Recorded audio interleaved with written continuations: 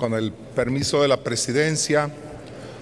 muy buen día, compañeras y compañeros, compañeros senadores.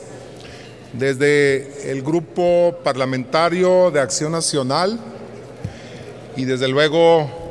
como representantes populares y en el caso de quienes somos integrantes de la Comisión de Salud, vemos con preocupación este nuevo brote de influenza, enfermedad viral ocasionada por una variedad del virus de la influencia denominado H1N1, que en muchos estados del país está causando problemas serios de salud pública. Desde luego, hace unos días presenté un punto de acuerdo donde estoy presentando mi preocupación porque mi estado, el estado de Sinaloa, es uno de los que están siendo más atacados, donde estamos viendo una mayor incidencia entre otros estados del país de esta enfermedad que en muchas de las ocasiones lamentablemente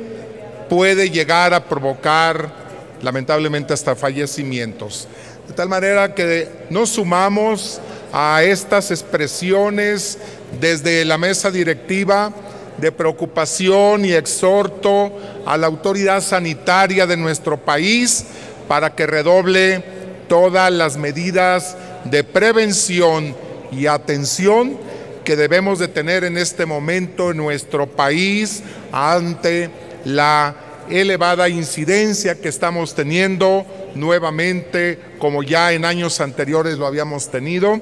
de este problema de influenza.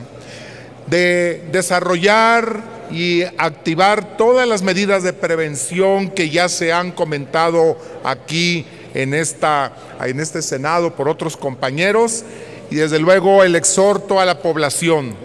de acudir de manera temprana, es decir, cuando esta enfermedad es muy característica de coincidir con el invierno, con los meses de frío,